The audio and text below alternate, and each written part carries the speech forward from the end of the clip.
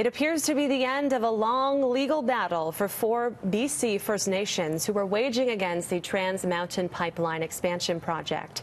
This morning, the Supreme Court of Canada said it would not hear their appeal, and as usual, no reason was given. Our Greg Harper has been following this story all morning for us, and he is live in Burnaby. Good morning, Greg.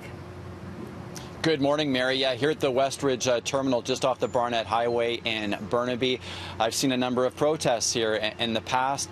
Uh, that's not taking place here today. We are seeing lots of activity, though, as construction here at the terminal continues. Huge expansion here. They're, they're building uh, three berths, uh, so this terminal can eventually handle more capacity and more equipment as well. Is the fight against the Trans Mountain Pipeline expansion project, is it over?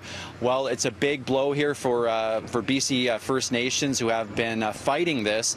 The decision from the Supreme Court of Canada coming down just before 7 o'clock this morning, the court uh, deciding not to hear an appeal from several BC First Nations on Ottawa's second approval of the project. You may remember earlier this year, the Federal Court of Appeal found the government's second approval of the Trans Mountain Pipeline expansion project reasonable under the law. Now, leaders of the Tsleil-Waututh and Squamish nations say there wasn't enough consultation that was done with the indigenous groups, and they have called the appeal court's decision earlier this year a setback for reconciliation.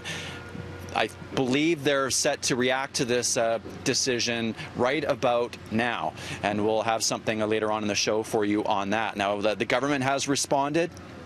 Canada's Minister of Natural Resources, uh, Seamus O'Regan, has issued a statement uh, shortly after uh, this decision uh, saying uh, the government approved the expansion project because it's an important project for Canada. He also adds to those who are disappointed with today's decision, we see you and we hear you.